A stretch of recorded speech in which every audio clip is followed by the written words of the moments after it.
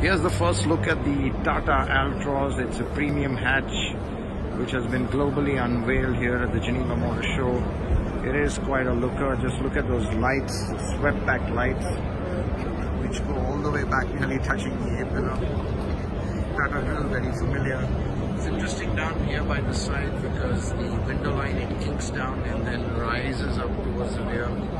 And uh, you've got this uh, stylistic touch which is the door handle in the C pillar.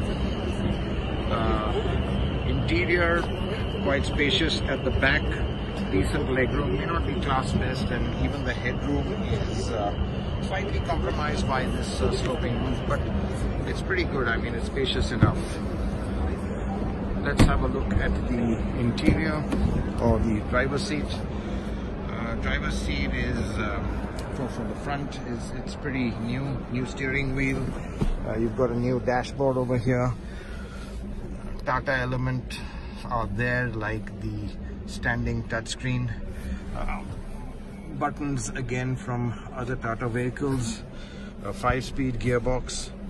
This is gonna get a choice of three engines a 1.2 petrol a 1.2 turbo petrol and a 1.5 diesel